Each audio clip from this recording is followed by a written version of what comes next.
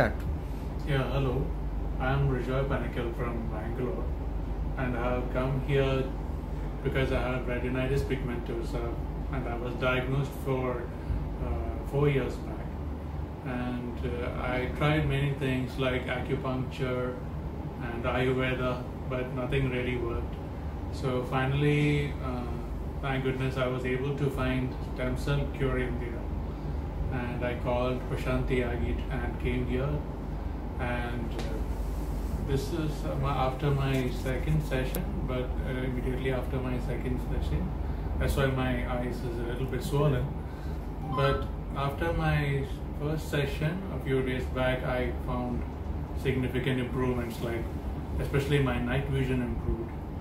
And i was able to walk a bit slowly in the night and also on top of that my peripheral vision has expanded a bit. Um, I, I can see a bit more on the top and bottom and a bit more on the sides. And a few holes in my central vision have also been filled.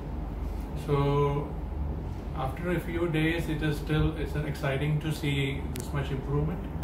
And i'm hoping for more improvement because the stem cells will work over a couple of months and thanks to the expertise of dr pallavi goswami uh, and all the doctors who helped me uh, for this improvement. I'm very grateful. And finally, after four years, four five years, I'm experiencing some happiness because I was worried out of my mind Mhm. for this because the doctors would tell there is no cure, but uh, finally there is some hope.